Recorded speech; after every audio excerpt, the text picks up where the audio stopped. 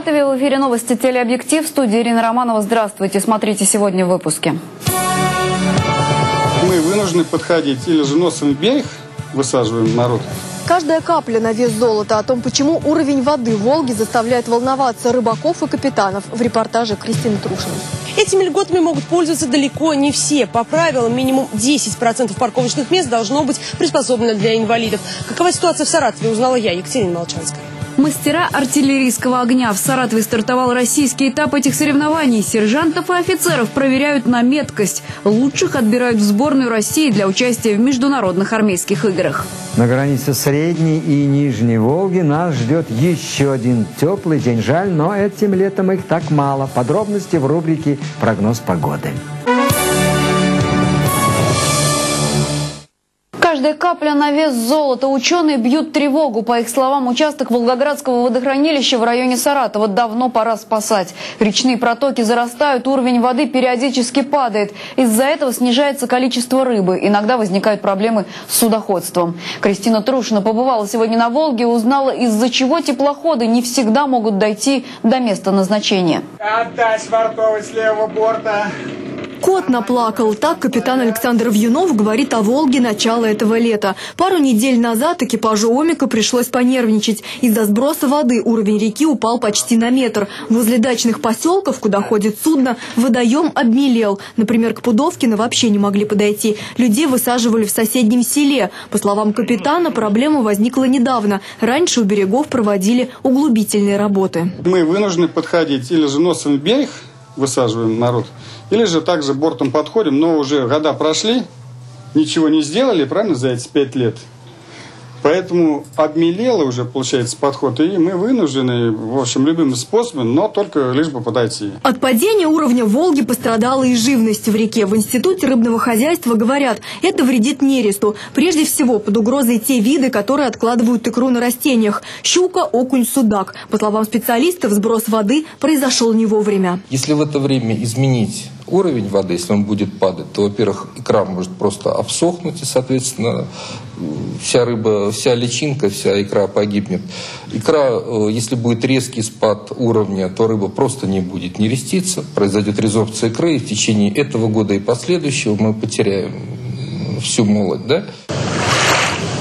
Биологи уверяют, ежегодно от колебаний уровня реки в регионах Поволжья не досчитываются около 15 тысяч тонн рыбы.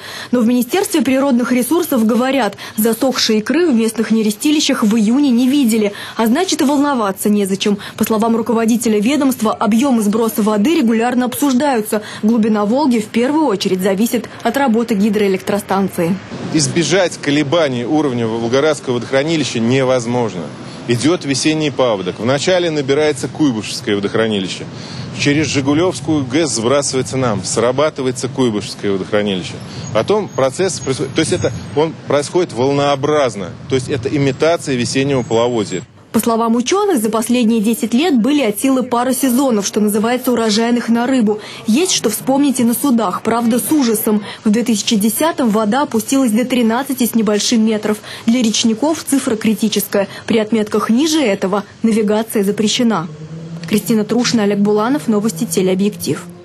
Мастер-класс от пожарных. Сегодня в Саратове отметили юбилей музея МЧС. Экспозиция представлена в здании Главного управления ведомства. В честь праздника ветеранам, школьникам и студентам рассказали о достижениях сотрудников службы. Детей научили пользоваться огнетушителем, продемонстрировали, как работает куб жизни и как пожарные сдают необычные нормативы. Екатерина Молчанская тоже побывала на празднике и узнала много нового. 600 тысяч посетителей за 40 лет работы. Такую статистику сегодня приводят на юбилей Саратовского музея МЧС. Этот экспозиционный центр считается одним из лучших в России. На экскурсии сюда приводят даже иностранцев в залах музея, стенды, рассказывающие о работе ведомства, снаряжение и боевая одежда пожарных, спасателей, саперов, а также макеты, техники и диорамы. У нас здесь есть уникальные диорамы, которые показывают, во-первых, пожар в Саратове в 1855 году. А вторая диорама показывает нам, как на ваших глазах сгорает квартира. Все это происходит в считанные минуты.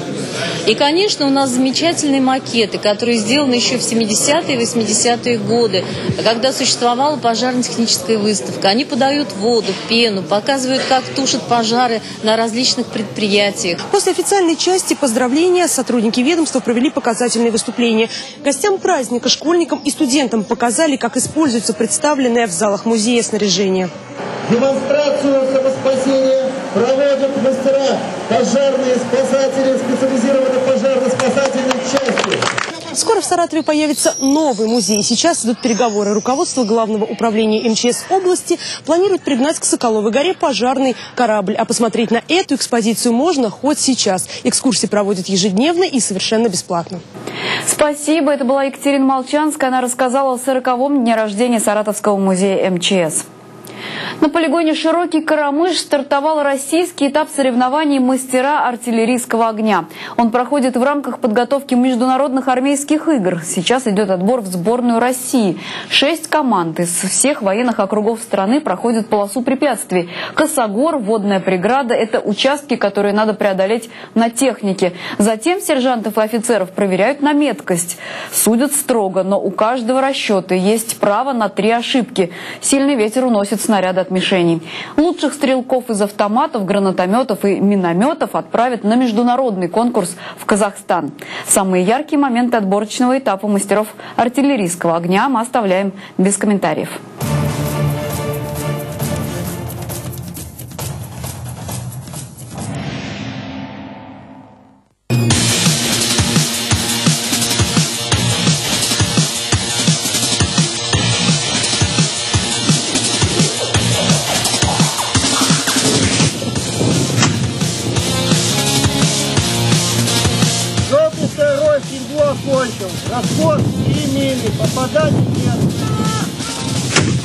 Если расчет не справляется, допустим, не попал с первой мины в мишень, то есть у нас идет дополнительное время, но это же время мы можем выиграть на трассе.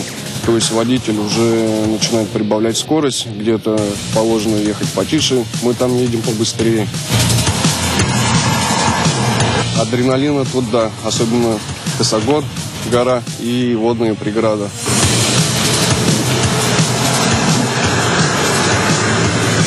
После стрельбы с миномета едем на огневую позицию, на стрельбы с автомата. Мы заряжающий и снарядный стреляем с автомата.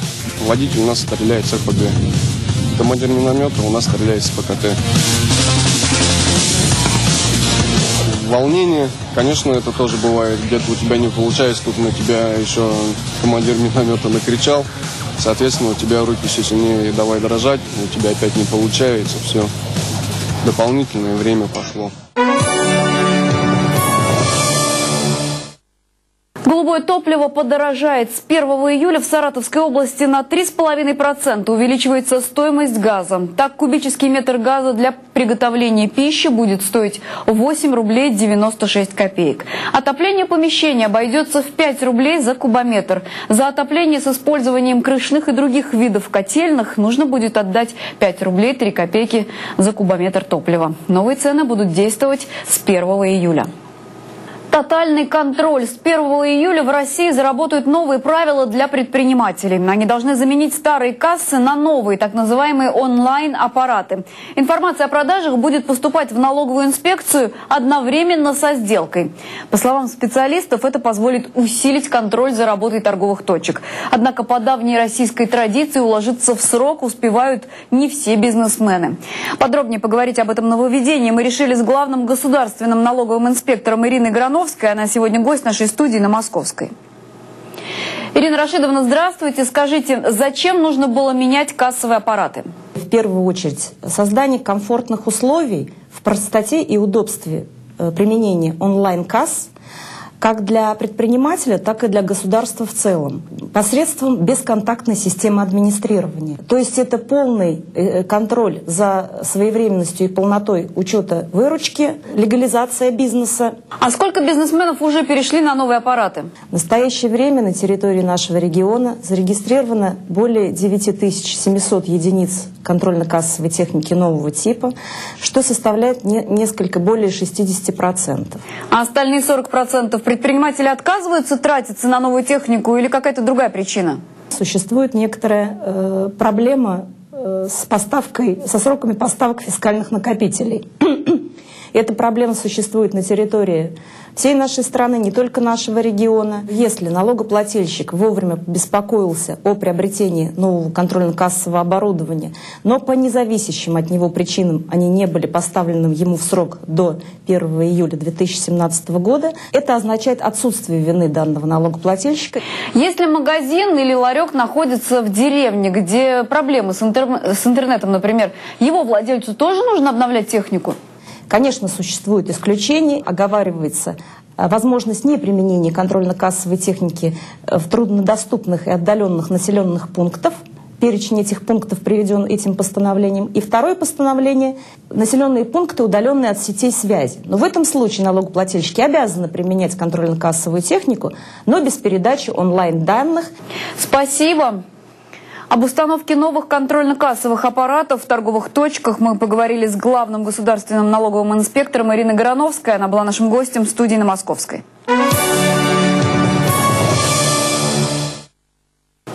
Накренился в Саратове башенный кран, может рухнуть на недостроенный дом. ЧП произошло сегодня на улице Карла Маркса. Там рабочий возводит многоэтажный дом.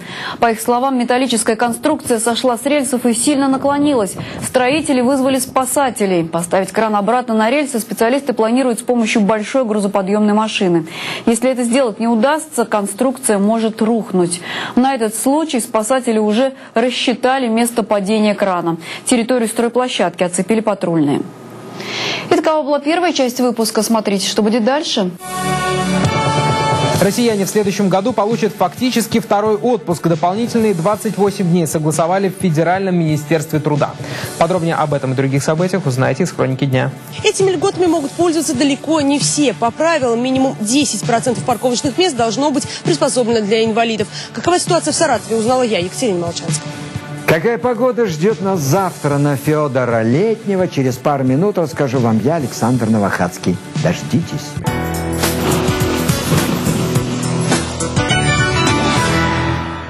В Красноармейске, Марксе, Татищеве и Советском районе переменная облачность, местами возможны небольшие осадки. Ветер юго-западный 4,6 метров в секунду и тепло. Ночью плюс 14, плюс 18, а днем до плюс 28. В Саратове и Энгельсе также возможен кратковременный дождь. Температура ночью 15-18 градусов, а днем до 27 выше 0. Атмосферное давление около 749 миллиметров ртутного столба, а вода в Волге плюс 18. Можно открывать купальный сезон. О градусах все. Снова в студии. Время рассказать о событиях в стране и мире. Россияне в следующем году получат фактически второй отпуск. Дополнительные 28 дней входят в календарь праздничных выходных, которые сегодня представили в Федеральном министерстве труда. Планируется, что мы будем отдыхать с 30 декабря по 8 января, затем в феврале 3 дня, в марте 4, в апреле-мае 5, в июне и ноябре еще по 3 дня, сообщает российская газета. Среди всех стран мира наша лидер по количеству выходных. По некоторым данным, в прошлом году экономика России потеряла от праздников более триллиона рублей. О других заметных событиях уходящего вторника далее «Хроника дня». Станислав Илащенко в студии. Стас, тебе слово. Добрый вечер, Ирина. В Карелии спасатели ищут пропавших на Ладоге подростков. Лодка с пятью несовершеннолетними перевернулась во время шторма. Двое парней смогли доплыть до берега и сообщить о ЧП. По словам сотрудников МЧС, шансы на спасение крайне малы. Температура воды не больше 10 градусов, однако в акватории Ладожского озера много островов, куда могли доплыть два парня и девушка. На катере они отмечали день рождения, сообщает Лента.ру. Судьба троих пока неизвестна. В настоящее время здесь на месте через два с половиной часа была сосредоточена группировка 258 человек. 55 единиц техники, в том числе 17 средств. В Хабаровском крае вынесли приговор контрабандистам, перевозившим черную икру в гробу.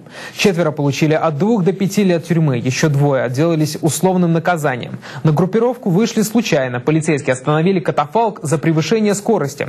Оказалось, что похоронный автомобиль буквально набит контейнерами с деликатесом, передает Интерфакс.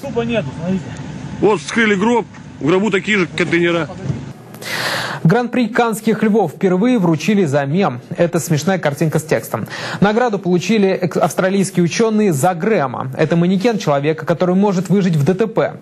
Австралийские власти заказали проект у художников и врачей-травматологов, чтобы обратить внимание на последствия автомобильных аварий. Грэм получил большую популярность в интернете и стал мемом.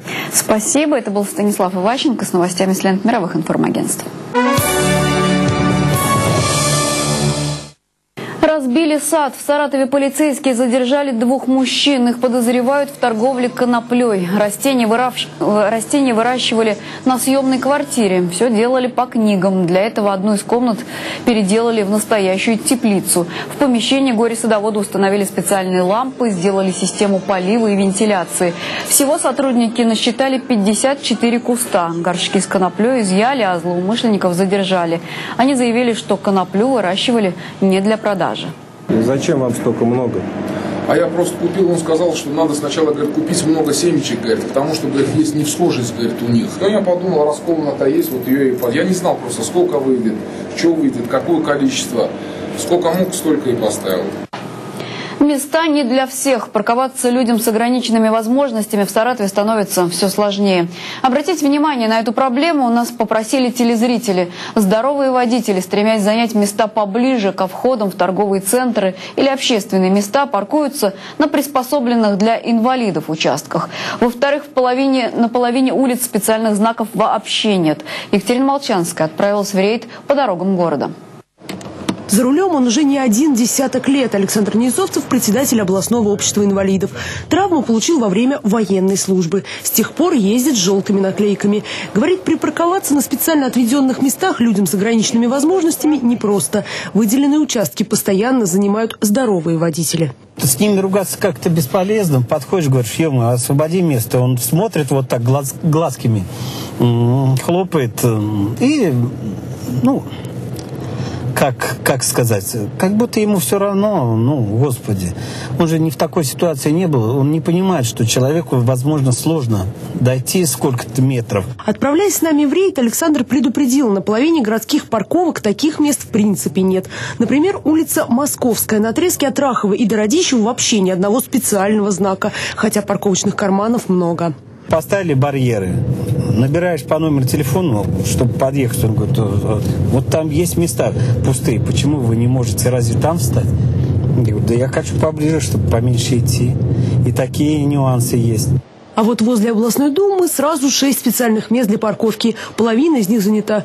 Желтых знаков на стеклах мы не обнаружили, но, как оказалось, их водители-инвалиды клеить и не обязаны. Вообще по законодательству э, автомобиль инвалида Э, может быть оборудован значком инвалид, может быть не оборудован. Это по желанию инвалида, но он обязан иметь при себе удостоверение инвалида первой, второй группы. Эти парковочные места обозначаются специальными знаками, а на асфальте должна быть разметка. Кстати, пользоваться такими льготами могут не все. Только те, кто перевозит детей с ограниченными возможностями, инвалиды первой и второй групп, а также их водители. Что же касается третьей группы инвалидности, вне зависимости от диагноза и самочувствия, за остановку здесь этих людей штрафуют штрафуют. Екатерина Молчанская, Александр Кравченко, новости телеобъектив. Это все главные новости, о которых мы хотели рассказать вам сегодня. Я с вами на этом прощаюсь, а вас по традиции ждет встреча с главным редактором Ильей Леонтьевым. До свидания.